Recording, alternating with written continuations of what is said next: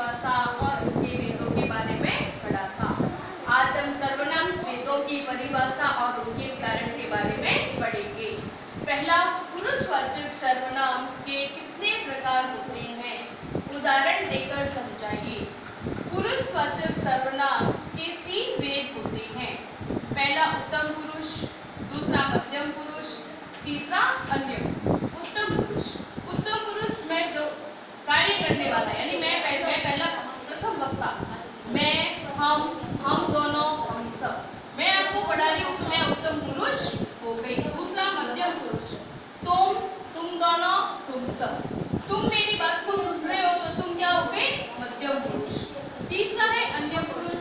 वह वे वे सब आदि अपन हर- अन्य तीसरे की बात कर रहे हैं अपन तीसरे की बात कर रहे हैं वे हो गए अन्य पुरुष प्रश्न इसका दूसरा भेद निश्चयवाचक सर्वनाम की परिभाषा व उदाहरण बताइए, दीजिए।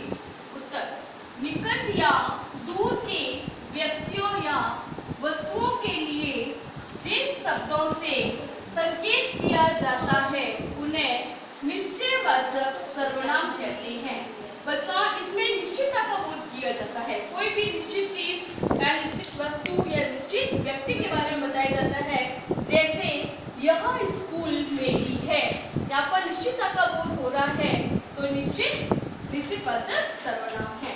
धन्यवाद।